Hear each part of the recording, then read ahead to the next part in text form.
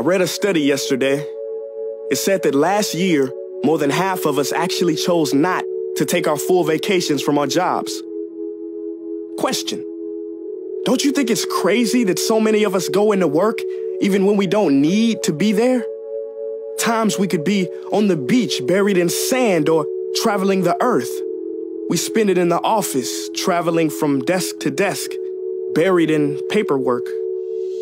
See, in this chaotic world, everything goes so fast. We're so busy, seems like everyone's middle name is multitask. But now, now before you go and act all holier than thou, how many extra tabs do you have open on your computer right now? See, we all need time to get away from the race for our family, friends, for the sake of our mental state.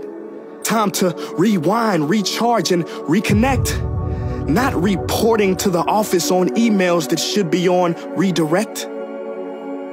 Because life, ladies and gentlemen, is all about moments. No one in history has ever been able to hold on to one. Not a single soul. And you never get them back. See? There one goes. No do-over, no rewind, no DVD root menu to skip to a previous scene.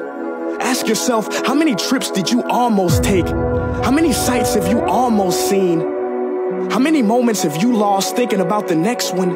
Thinking that once you get this or get there, maybe that will be the best one. Life has taught me that all we will ever have is now. But let me be perfectly clear.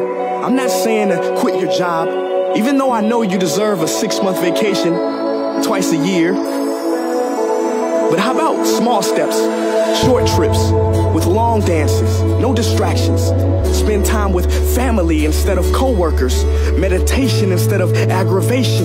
Replace our screensavers with sunrises, palm pilots with palm trees, jam copy machines with. Man, I really hate jam copy machines. The most precious thing we have in life are moments.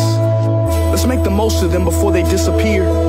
Let's see the world while we still can and cherish those while they're still here. Because when our lives are almost over, it won't matter how much money we made or hours we worked or times we got employee of the month.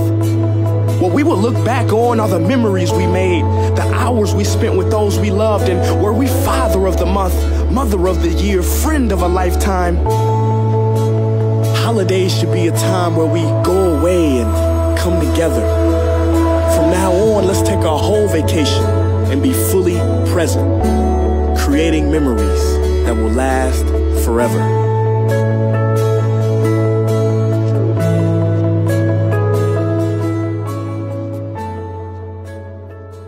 Hey guys, thank you so much for watching that video. Now, if you haven't joined the family yet, this is what I want you to do. I want you to click like on this page and click see first so that you never miss a beat.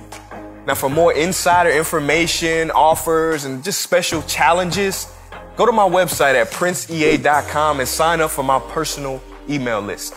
And the last thing I want you to do, you listening? Make each breath count. Peace.